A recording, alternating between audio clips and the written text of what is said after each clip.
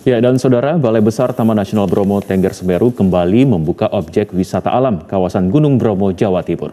Ya, dan untuk mengetahui informasi selengkapnya, kita telah terhubung dengan reporter Sawal di sana. Sawal, selamat pagi.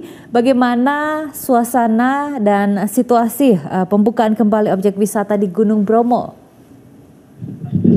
Ya, selamat pagi Natasha dan Andi. Benar sekali, sekarang saya berada di uh, Beranjakan uh, Bromo. Kalau kita kami informasikan pada pagi hari ini, Andi dan Natasha, suhu yang ada di sekitar kami berada sekarang ini, yaitu berada di 13 derajat Celcius dan sangat-sangat dingin sekali. Memang beberapa waktu yang lalu kawasan objek wisata Bromo ini berada di daerah Jawa Timur ini sempat ditutup oleh pemerintah karena mengingat masih tingginya penyebaran kasus COVID-19 di kawasan Bromo sekitarnya. Namun seiring uh, terjadinya PPKM dan turun level dari level 4 turun ke level 2 sehingga pemerintah kembali memberikan akses izin untuk dibukanya kembali kawasan objek wisata Bromo ini. Tentunya dengan telah dibukanya kawasan objek wisata Bromo ini mendapat respon positif dari masyarakat sekitar dan tentunya juga dari wisatawan di mana kawasan objek wisata Bromo ini uh, dibuka pada tanggal 9 uh, September kemarin berarti artinya ada sekitar lebih kurang tujuh hari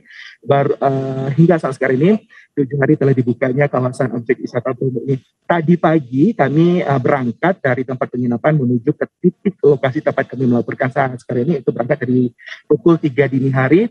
Kami memantau antusias dari wisatawan untuk menuju ke um, penanjakan Bromo ini memang sangat uh, ramai.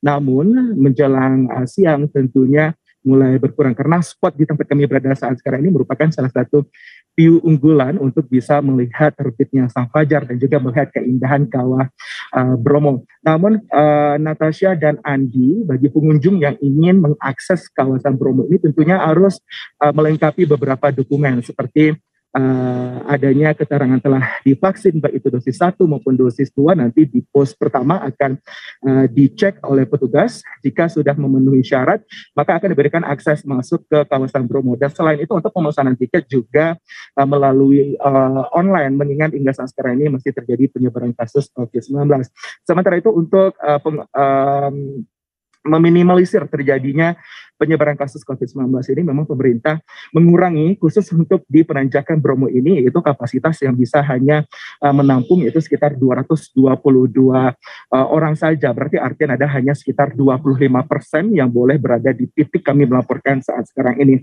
Namun seiring telah dibukanya kawasan Bromo ini ada 14 kawasan yang serentak juga dibuka oleh pemerintah uh, Kabupaten Probolinggo ini dan mengingat sudah mulai turun dari level 4 ke level 2. Namun untuk di kawasan Bromo ini sendiri, uh, Natasha dan Andi, ada lima spot yang dibolehkan oleh pemerintah untuk diakses, yaitu pertama penanjakan di tempat kami melaporkan saat sekarang ini, yaitu Bukit uh, Kedalu, dan setelah itu juga Bukit Cinta, Montigen, dan Savana, uh, Savana dan Lautan uh, pasir tentunya. Namun himbauan dari pemerintah bagi wisatawan yang ingin berkunjung ke kawasan objek wisata uh, yang berada di daerah Jawa Timur ini sekali lagi diimbau untuk benar-benar tetap mematuhi kesehatan, tetap menggunakan masker, menjaga jarak dan tentunya um, harus membawa uh, cairan hand sanitizer. Natasha dan Andi demikian yang dapat melaporkan dari Bromo. Kembali ke Anda di studio. Baik, Sawaldur melaporkan langsung dari kawasan wisata Gunung Bromo, Jawa Timur. Terima kasih atas laporan Anda. Selamat pagi.